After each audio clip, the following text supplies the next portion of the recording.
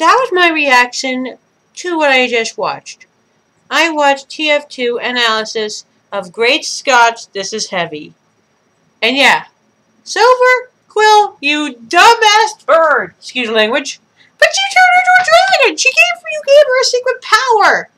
How could you do that? Seriously, you are just annoying little feather brain. This was my reaction of it. Seriously, Silver, you gotta control that issue of yours. Your attitude of yours. Always,